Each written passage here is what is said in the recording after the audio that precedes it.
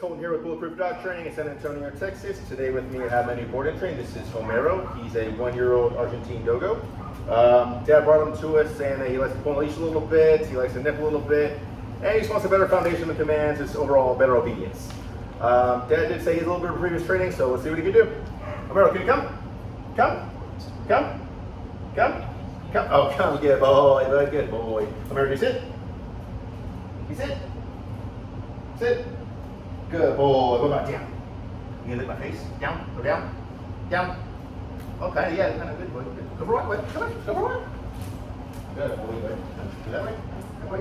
This way. Which way? Which way? Okay, not too bad, not too bad. Okay, yeah, he definitely needs some work. Um, that's okay. We get fixed up next 15 days, so keep up with his progress. I'll hope to have here at Bulletproof Dog Training in San Antonio, Texas.